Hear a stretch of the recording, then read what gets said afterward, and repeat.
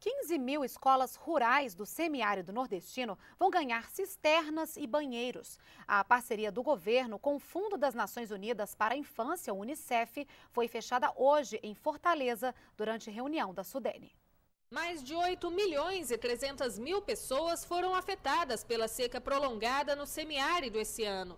1.187 municípios decretaram situação de emergência. É o que revela o balanço divulgado nesta sexta-feira pelo Ministério da Integração Nacional. Durante a reunião da Sudene, o ministro Fernando Bezerra divulgou o resultado das ações de socorro até agora. Dos 200 milhões de reais previstos para o Bolsa Estiagem, por exemplo, já foram pagos 60 milhões. E dos 500 milhões de reais voltados para a garantia safra, 158 milhões de reais foram pagos até agora. Os estados também contrataram até julho quase 23 mil operações de crédito para investimento e custeio agrícola e pecuário. E o Ministério da Integração pagou 450 milhões de reais para ações do programa Água para Todos, que já beneficiou com a instalação de cisternas cerca de 400 mil famílias do semiárido.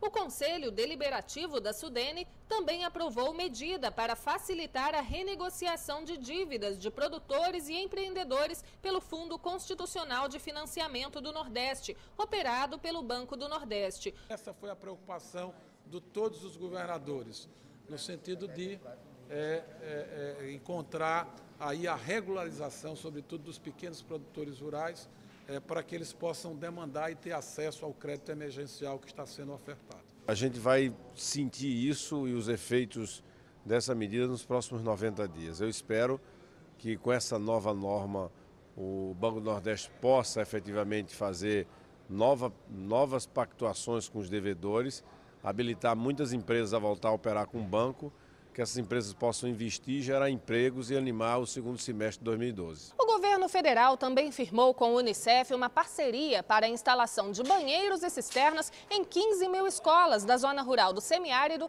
que ainda não contam com abastecimento de água. A ação vai fazer parte do programa Água para Todos. É um passo mais. O governo do Brasil está fazendo cada semana, cada mês mais passos para eliminar a pobreza, eliminar a miséria e o mais importante para nós é para assegurar igualdade de direitos para toda criança, reduzir as desigualdades do Brasil, que é o grande desafio para o Brasil, reduzir as desigualdades, dar as mesmas oportunidades para uma criança num município pobre no Nordeste que uma criança numa grande cidade, num bairro com muito dinheiro.